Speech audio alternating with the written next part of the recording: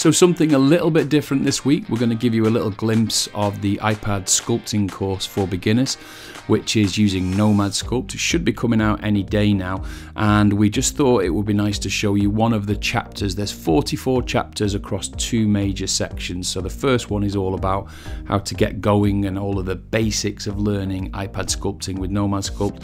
And then there's an entire section devoted to just making a character from scratch. So take a look, see if you like it, and at the end of the video, we've got some information about the course itself.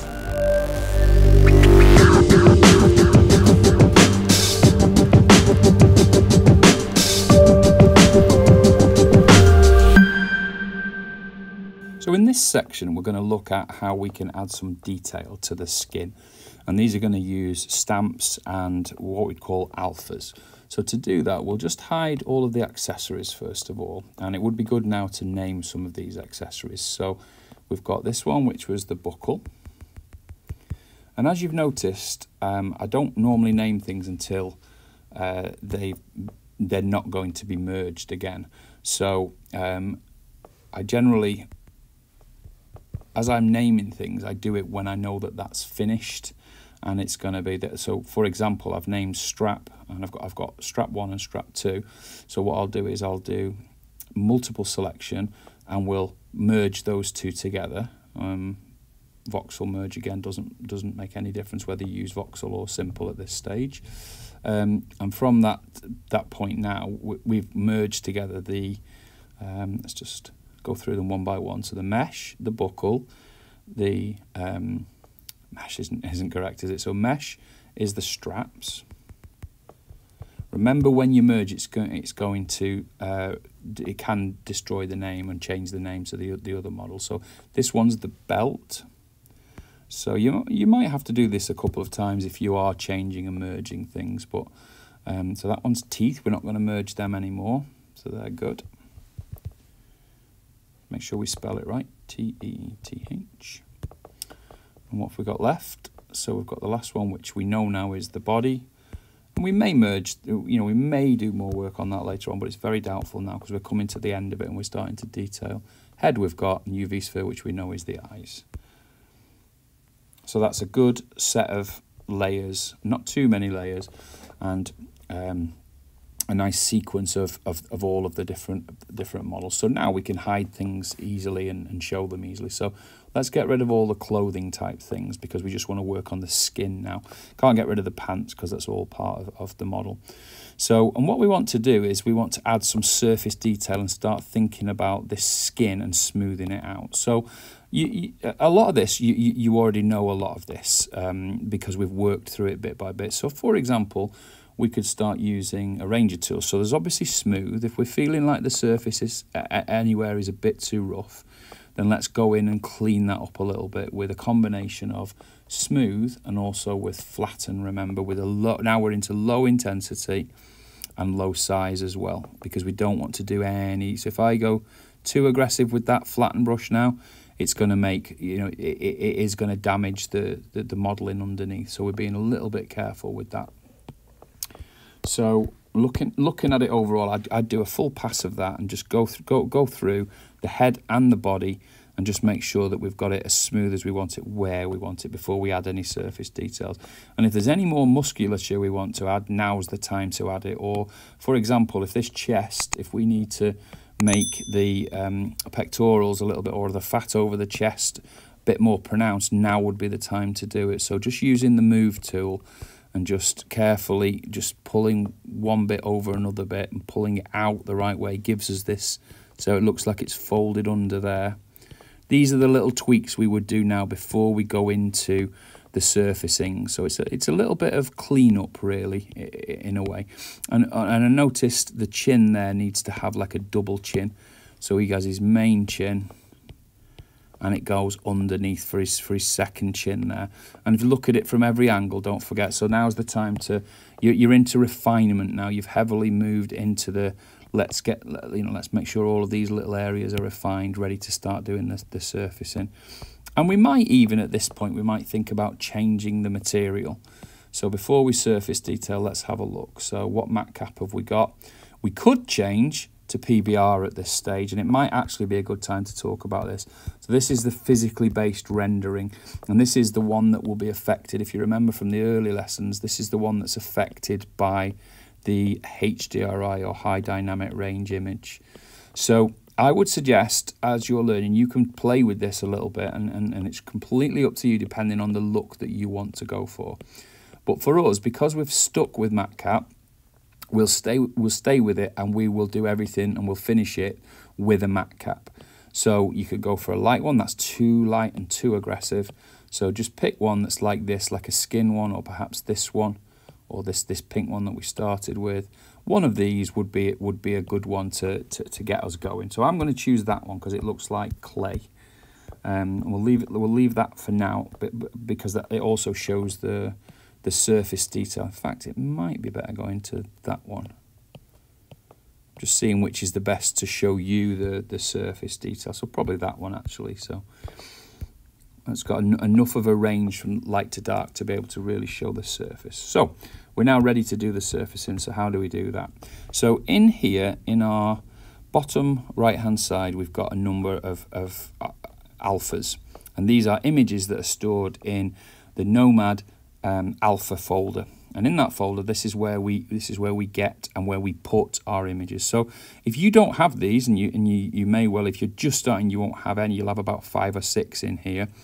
And I've got lots of different ones, different skins and different textures. So let me just quickly show you how to make one so that you, you can at least join me in this if you don't have ours.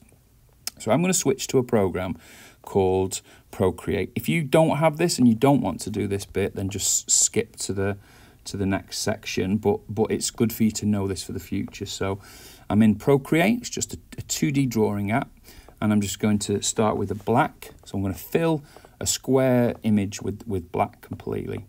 I'm going to go to a basic brush, so it's a standard brush, exactly as you would see in something like Photoshop. And I'm going to make myself a what, what I'll call a skin um, brush. And this is going to look like crisscrosses. So if you have a look here, I'm just thinking about um, how skin would be um, across most of the body. So you'll you get different skin on different parts of the body. So you'll see wrinkles on the hand, much smoother on the arm, you know, wrinkles on the face and around the face. But all I'm thinking about here is a generic brush to do a lot of that. And bear in mind what these brushes do is these alphas is wherever there's white, when I paint with it, the white will show wherever there's black, the, the, it won't show, and the gradient in between. So what I'm doing there is putting lots of surface detail. So I'm putting lots of whites. You can blur it if you want, just to give yourself a really clean, you know, um, a really smooth looking brush. Or you can just go to something like um, Gaussian blur, layer, and just blur it across a little bit. That's, that's common in all of these 2D programs. So once you've got that one, you just export it. I'm going to use JPEG, it's either JPEG or PNG. Where are we going to put it? Well, we want to put it on the iPad. So let's go to Files. So save, um, save to Files. Where do we save it? We're going to first of all, we're going to name it, and we're going to call it Skin. And this is where you save it. So you save it on your iPad in Nomad under Alphas, and you save it there. Now, when you reboot um, your Nomad, that will appear as a skin alpha in here. So you can go to go navigate to it and pick it. And I've got lots of different examples, so it doesn't really matter which one you use. That is how we would create our own alpha. So I'll just use any one at the moment. I'm not even going to use that one. And I'm going to start painting uh, with just the, the, the alpha. We're not painting colour yet. We're just, we're just looking, focusing on skin. So we'll go to the belly. We'll go to the clay brush and we'll basically zoom in so you can see exactly what I'm doing. I'm going to do it wrong in the first instance and then you can see what, what's happening. So, and I'm just in case, just to show you, I'm going to go with a real big red colour because it's nothing to do with colour. So let me just show you what happens when I paint with that. So you can see there what's happened. So because I changed things, the alpha disappeared. Because I changed the tool, the alpha is dependent on which tool you're on. So what you have to do is choose your tool first. So clay, then your alpha. And because the color is coming through, the color is coming through, and the reason that that's coming through is because color is enabled here. So if you turn that off, just make sure this checkbox is off. And another way of doing it is up here, the second, a third icon in at the top uh, from the right of this, this part, and it's turned off here. So now what will happen is we're going to use this alpha down here with no colour, and you'll see what happens. And that now just affects the surface. So I'll undo all of that to make it clear to, to you what I'm doing. So now what's going to happen is I'm going to just be able to paint the surface. So, and that'll depend on whether I want a large. So if I want a large brush, go different ways. If I want a small brush, low intensity, and then I can just do like this. And it's very subtle. You might not be able to see it, but this is how we get our skin built up, the, the, the roughness and the, the wrinkles in the skin. And you can do a full pass of wrinkles with this. This is one way to do it, to, to, to get that surface detail. Now, later on, when we talk about painting, you can switch this on with the painting. So you could be sculpting and painting at the same time. And don't forget, this is adding to the surface based on the white colour. But if you use this button over here on the right, the sub, it'll now indent it. So watch the difference. You can see now what's happening there it's giving you an indented skin. So if you were doing the hands, the back of the hands, that might be the way you do it because crisscross in there will give you the crisscross skin that you would want on your hands. So be very, very careful and very subtle. Bear in mind you don't want it on the trousers because that's cloth. But you can just use the brush in circular motions. And this is only one brush, remember you could you could basically make hundreds of these based on the surface type that you want. So if you were doing bark, it would be one time. If you were doing rocks, it would be another. And you could make little sets or even download. If you don't want to make them yourself, you can just find them on the internet. As long as it's a black and white image, generally uh, JPEGs and and PNGs, as I've already mentioned, that that's a, a great you know way to grab them um, that other people have made and add them to your collection. Okay, so we'll do the same on the face. Now the face, you'd probably want something a bit different up here. You'd probably want something that looks a bit more like pores. So what that would mean is going back and making something that's quite dotty. So let's have a look at that close up. You can see there, it gives you, change the sub, and you can see how it's a bit more um, sh sh showing the the pores or the or the or the pimples or whatever you decide that you need for that particular part of, of, of the model. Okay, so there's a couple of them explored and we're getting a nice texture all over his body. We're using symmetry because we're still symmetrical at the moment. So let's just make sure we're on the right model. Okay, so that's a good way to get through most of the surface texturing like that. But there's another thing we need to look at, which is over here called the stamp. So it's almost the same, but it's got more settings. So up here with your uh, clay brush, you have got some the ability to change some of the um, the curves, and that would mean it would affect the surface differently. But what I always try to encourage people to do is switch to the uh, stamp tool, and that's because if you affect the clay brush, you're going to have to change them back. Um, so leave your clay brush alone and use the stamp tool, which is this one. What does the stamp tool give us? So it's exactly the same in terms of it's how it's going to affect the surface, but you're dragging it on the surface. So we'll use a different type of brush. Let's just pick something else. Again, if you want, go and draw some of these yourself. And look how aggressive that is. Now that looks pretty cool if you wanted to make little tiny mountains on somebody's elbow, but that's not what we're after. We do want that effect, but we want it really subtle. So we want to knock that intensity right down, go up here to the alpha, and you could click custom and change the graph. So the graph is how high it would come up off the surface really. But we'll just do double, double click here. And what we'll do is we'll use custom and bring this right down and bring these two up. So it's a nice flat profile. So let's just see what that's done for us. And you can see there it's given us exactly what we want, which is a nice rocky kind of rough skin. Um, and it's predictable because you're dragging it on so you know exactly where you want to put it. Let's just try it on the back of his head a little bit. This is a good place to do it.